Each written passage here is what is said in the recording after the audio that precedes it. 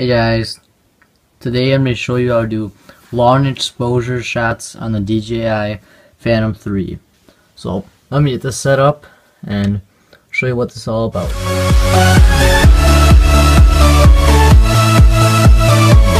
As you can see, I've set up a little flashlight there. Let me hit the lights real quick. And it's very dark. But long exposure.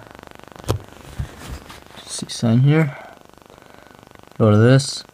Let's do let's do three seconds.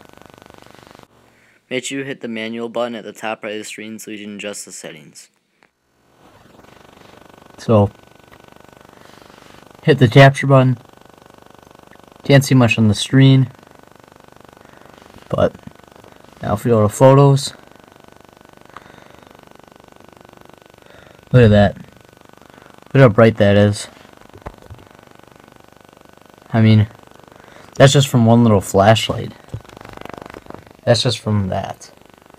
I like how bright that is. Now, let's do, let's do one six second one. Real quick.